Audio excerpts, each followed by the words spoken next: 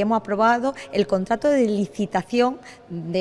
del mantenimiento de, la ciudad, un contrato esencial para Almería. El equipo de gobierno está muy preocupado por el estado de las calles, de los espacios públicos de nuestra ciudad y tenemos un contrato específico para eso, para dar una respuesta rápida, eficiente y eficaz a cualquier eh, incidencia que pueda surgir en la ciudad. Viene, lo tenemos ahora mismo en, en vigor el contrato eh, de mantenimiento de espacios públicos, termina en diciembre y ya eh, hemos preparado toda lo que es la documentación administrativa para volver a sacar este contrato que, como digo, es principal para la ciudad.